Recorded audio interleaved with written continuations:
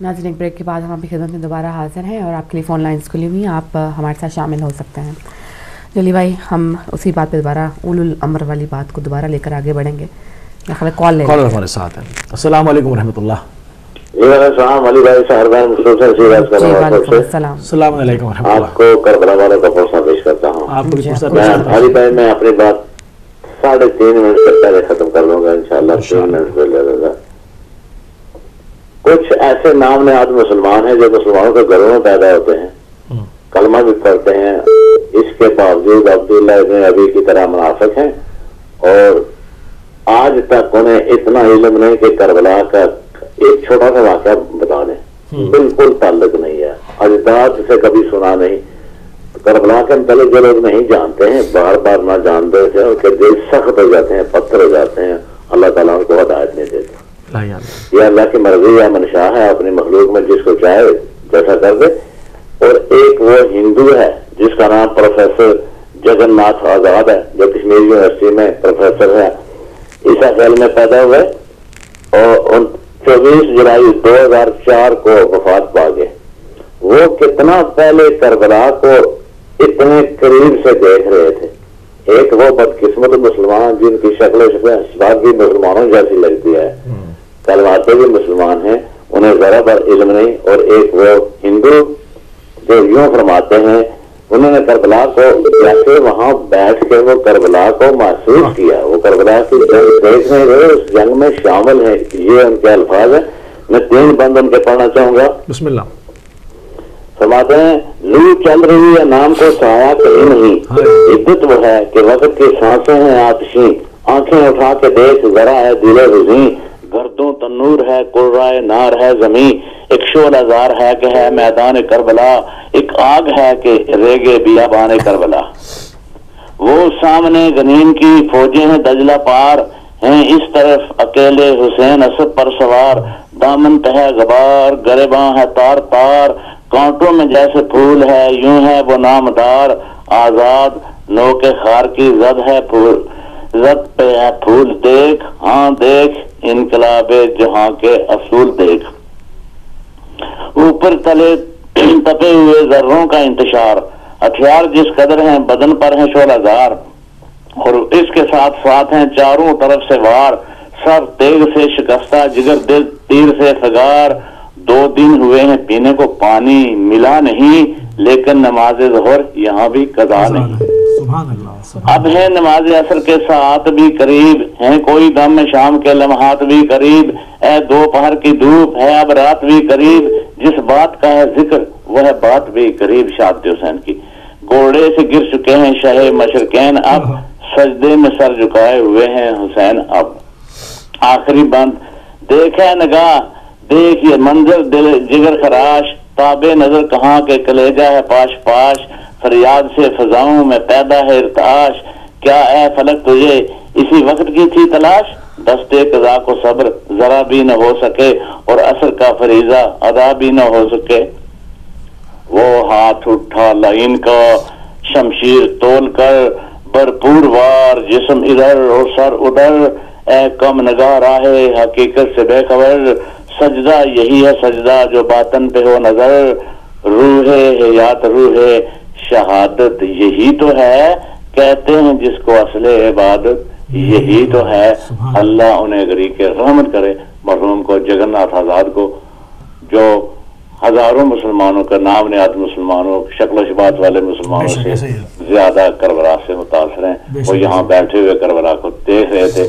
اور کچھ ایسے ہیں جو اجداد سے مسلمان ہیں۔ اتنا پتہ نہیں کہ اصغر کون تھے اتنا پتہ نہیں کہ کربلا ہے کہاں اتنا پتہ نہیں کہ جنگ کس کے ساتھ ہے اللہ تعالی ہم ہم مومنین کو حسین کے اس احسان کو یاد رکھنے کی یاد رکھے ہمیشہ یاد رکھنے کی توفیق۔ یہ رکھے۔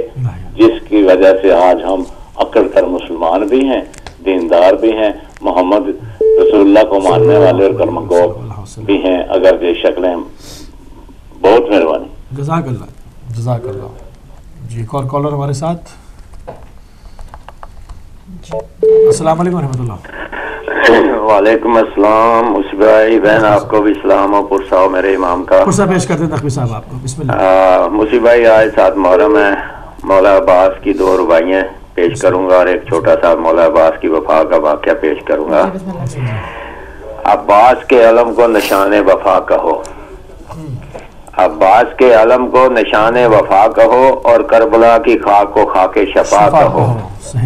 آتی ہے آج بھی صدائیں فراد سے عباس وفا کو وفا کا کردگار کہو۔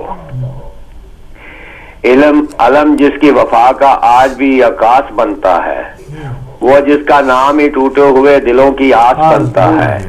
یقیناً چار داہ معصومین کا نور یکجا ہو تو پھر کمرے بنی ہاشم صفی عباس بنتا ہے۔ سبحان اللہ۔ یوں ہاتھ بلانا ہے حیدر کے لال کے رکھا ہو جیسے عرش بری کو سنبھال کے۔ ہے کوئی دنیا میں وفا کی کوئی مثال؟ پیاسا کھڑا ہے مشق کو پانے دریا میں ڈال کے۔ وفا کی انتہا یہ ہے کہ ایک دن امام حسین علیہ السلام بیٹھے ہوئے تھے تو حضرت عباس کو انہوں نے آواز دی تو حضرت عباس فوری طور پہ سامنے آ گئے۔ امام نے مسکرا کے کہا عباس میں نے آواز دی تم فوراً سامنے آ گئے۔ تو عباس نے کہا مولا آپ نے جب پکارا تو میں حاضر ہو گیا۔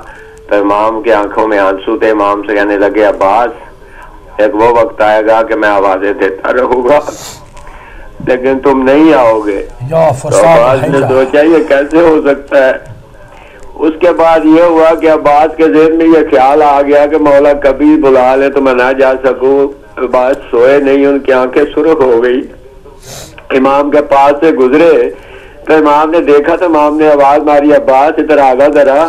تو پوچھا، عباس تمہاری کے سرخ کیوں ہے تو مولا عباس نے کہا، بابا، بھائی، آپ نے کہا تھا کہ میں جو ایک وقت ایسا آئے گا کہ میں آواز دوں گا تو تم آؤ گے، نہیں تو میں اس وقت سے سویا نہیں ہوں۔ کہ اگر ہو سکتا ہے کسی وقت بھی آواز دے دو، تو مولا نے عباس کو گلے لگا کے ماتھا چوپ کے کہا، عباس، یہ وہ دن ہے، یہ وہ وقت ہوگا کہ میں بیگیلا بیٹھا کر بلا کے میدان میں المناس و ینسرنا کی آواز بلند کروں گا، میری کوئی سننے والا نہیں ہوگا۔ تم بھی نفرات کے کنارے سو جاؤ گے، اکبر بھی سو جائے گا، قاسم بھی سو جائے گا، کوئی بھی نہیں ہوگا۔ اور وہ وقت ابھی نہیں ہے، عباس، تم ابھی کیوں اتنی زیادہ اپنے آپ کو اتنی تکلیف میں ڈال رہے رہے ہو، لیکن وہ عباس جو وفا کی انتہا کر گئے اور وفا کا ایک ایسا پیغام دے گا دنیا والوں کو کہ دیکھو، طاقت بھی ان کے ہاتھ میں تھی، علم بھی ان کے ہاتھ میں تھا، لیکن وفا کے علم کو اتنا بلند کر دیا کہ آج دنیا والوں کو فخر سے یہ کہنا پڑتا ہے، عباس، تمہاری وفا پہ ہم قربان جائے جنہوں نے وفا اس طریقے سے کی کہ بی بی جب چلی تھی مدینے سے تو عباس کے سہارے سے چلی تھی۔ عباس جب بی بی سوار ہوتی تھی تو عباس کے ہاتھوں پہ بگڑے بیٹھ کے سوار ہوتی تھی اور وہ عباس جب کربلا کے میدان میں پہنچے تو بی بی نے تمام عورتوں کو یہ کہا کہ عباس فکر نہ کریں، آپ کے پردوں کی زامن میں آئے، وہ عباس میرے ساتھ ہے۔ لیکن دس ماہروں کو بی بی نے جبکہ لکھا کہ عباس بھی نہیں ہے تو کہا، بی بی، میں میں نے وعدہ کیا تھا، لیکن میں تو بات نہ سکی، وہ عباس میرے پاس نہیں ہے، میں آپ کے پردوں کی زامن نہیں ہو سکتی۔ وہ عباس ہے جس کی قربانی نے دنیا کو بتا دیا کہ اگر اسلام میں آنا چاہتے ہو تو اس وفا کے جذبوں کو لے کے آؤ، اگر وفا ہوگی تو اسلام آپ کے گھر پہ آپ کا ویلکم کرے گا۔ اگر اس عباس نہیں عباس کی وفا دل میں نہیں رکھتے تو پھر آپ کے پاس کچھ بھی نہیں ہوگا۔ تھینک یو جی مہربانی، شکریہ۔ بہت شکریہ۔ جزاک اللہ جزاک اللہ۔ بالکل تخفی صاحب نے درست فرمایا۔ مولا نے جملے شاید فرمایا تھا یا فرسان الحیجہ۔ اپنے شہ سواروں کو اپنے شعروں کو یاد کیا تھا۔ بالکل۔ کالر کو شامل کریں گے۔ السلام علیکم ورحمۃ اللہ۔ السلام علیکم ورحمۃ اللہ وبرکاتہ۔ جی احمد صاحب وعلیکم السلام۔ مسی بھائی آپ کو بہن کو بہت بہت سلام سب سننے والوں کو۔ جی میں آپ کی خدمت میں حضرت حسین رضا عنہ قربانی کے اوپر ایک چھوٹے سے شعر چند پیش کرنا چاہتا ہوں۔ اللہ اللہ۔ صلی علی محمد و آل محمد۔ آج بھی دلوں پہ حکومت حسین کی اور حشر تک رہے گی محبت حسین کی میرے پہ سر حسین کا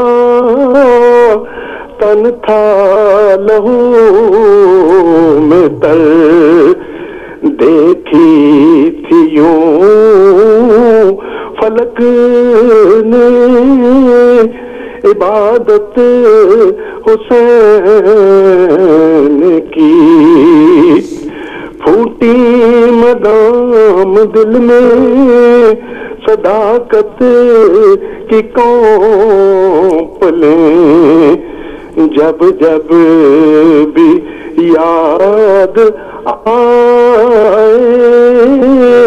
شجاعت حسین کی۔ چشم فلک بھی دیکھ کر حیران رہ میدان کر بلا میں امامت حسین کی قسمت پہ ان کی ناز ہے۔ اہل شور کو جن جن کو بھی نصیب تھی قربت حسین کی دامان صبر چھوڑنا کربو بلا بھی لازم ہے مومنوں پہ اطاعت حسین کی۔ میدان میں ڈٹے رہے، مثل چٹان۔ وہ کیا حوصلہ، بہادری، ہمت حسین کی۔ افسوس پھر کبازیوں میں بٹ کے رہ گئے رکھی نہ یاد ہم نے نصیحت حسین کی۔ باطل نے سر اٹھایا ہے، مسعود آج پھر محسوس ہو رہی ہے۔ ضرورت حسین کی۔ علی بھائی، آج جو اسلام پر جو دور آیا ہوا ہے، یہ دیکھیں کہ قربانی جو دی، اگر آج مسلمان اس طرف دیکھیں، وہ عمل شروع کریں اور خدا تعالیٰ پھر برکتیں نازل کرے گا۔ اور یہ کبھی نہیں ہو سکتا کہ خدا اور اہل بیت کے ماننے والوں کو اللہ کبھی بھی اپنی حفاظت میں رکھے گا ہمیشہ ترقی دے گا۔ خدا حافظ۔ جزاک اللہ جزاک اللہ احمد بھائی۔ بہت شکر گزار ہیں مشکور ہیں ممنون ہیں۔ اپنے تمام سبھی کالرز نے جو ہے وہ آج بڑھ چڑھ کے حصہ لیا پرسہ پیش کیا سید الشہداء کی بارگاہ میں اور خصوصاً حجت الاسلام المسلمین مرزا ذہین نچوی صاحب نے اہل بیت علیہ السلام کے بچوں کی پیاس کو تازہ کیا ان کی یاد کو تازہ کیا۔ ایک اور کالر کو لیں گے۔ السلام علیکم ورحمۃ اللہ۔ وعلیکم السلام رحمۃ اللہ وبرکاتہ علی موسی بھائی میری بہن کو السلام علیکم محمد علی لندن سے بورا سسٹر جی اور قصہ پیش کرتا ہوں امام حسین علیہ السلام کا آج کربلا کے ساتھ ساتویں محرم ہے۔ میں نے تو سوچا تھا کہ پاکستان میں جاؤں گا لیکن ٹکٹ مجھے لیٹ ملی دس دن کے بعد کی۔ اینی وے دیکھیں کہ کوشش ہماری یہ ہوتی ہے کہ ہم کربلا کے واقعہ کو بیان کر سکیں اور لوگوں کے دلوں میں اس کی اصل حقیقت کی روح جو ہے اس کے دلوں میں اتار سکیں اپنوں میں اور غیر مسلموں میں۔ لیکن انفارچونیٹلی مجھے بہت افسوس ہے کہ میں پچھلے محرم بھی دیکھے، اس محرم کو تو میں نے بہت ہی مانیٹر کیا، لیکن پھر بھی کمی بیشی ہے۔ لیکن آج کے دن نہیں، محرموں کے بعد اس کے اوپر بات- بات کریں گے۔ تین تین تین شخصیات ہیں جن کو جن کو ہم نے اگنور کیا، جن کو ہم انوائٹ ہی نہیں کرتے۔ نہ اپنے پلیٹ فارم پہ کسی ماہر نفسیات کو بلاتے ہیں، نہ کسی ایکالوجسٹ کو بلاتے ہیں، نہ کسی سائنٹسٹ کو بلاتے ہیں۔ یعنی کہ ان تینوں شخصیات کا محرم سے لنک ہی نہیں ہے۔ یہ ہمیں بہت ایکسپلین کر سکتے ہیں، لیکن اینی وے مسئلہ یہ ہے کہ علی بھائی، میں نے دیکھا کہ محرموں میں فیملی ٹوٹ گئی ہیں۔ میرا ایک دوست ہے پاکستان میں، وہ اہل تشیح ہے، لیکن آدھی اس کی فیملی اہل تشیح ہے۔ لیکن وہی وہ- اس کی فیملی اہل تشیح ہے باقی سارے ٹھیک ہے محمد بھائی بڑی اچھی باتیں ہیں۔ اس پر انشاءاللہ جو ہے وہ بعد میں بات کریں گے۔ ابھی ہمارا وقت جو ہے وہ بالکل ختم ہو گیا۔